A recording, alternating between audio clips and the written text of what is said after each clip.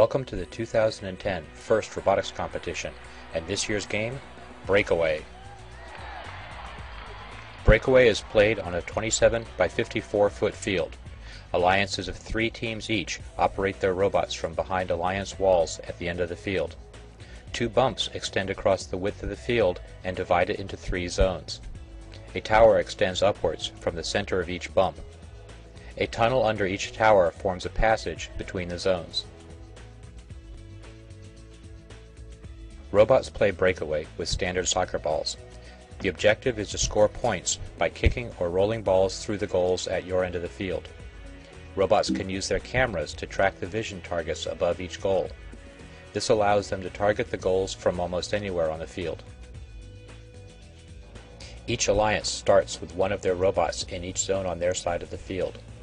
One ball is placed in the zone closest to their goal, two balls go in the middle zone, and three balls go in the zone at the far end of the field. The match starts with a 15 second autonomous period.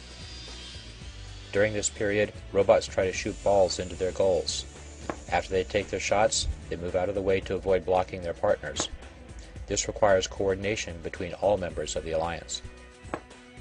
At the end of the autonomous period, human drivers step forward to take the controls. During the teleoperated period, Teams control their robots and attempt to score in their goals. Balls can be scored in goals from anywhere on the field. As balls are scored, the human players remove them from the goals and pass them to the center of the Alliance station. The trident is used to place balls on the return rack to re-enter them into play. As robots attempt to score, they must also deal with opposing robots that may be defending their goal. Robots can drive the length of the field by going through the tunnels or across the bumps. When crossing the bumps, robots will have to drive carefully to avoid tipping over. Wise teams will design robots that can right themselves in case this happens. Near the end of the match, robots gather near the towers. Robots can get bonus points by climbing on the platform or hanging from the tower.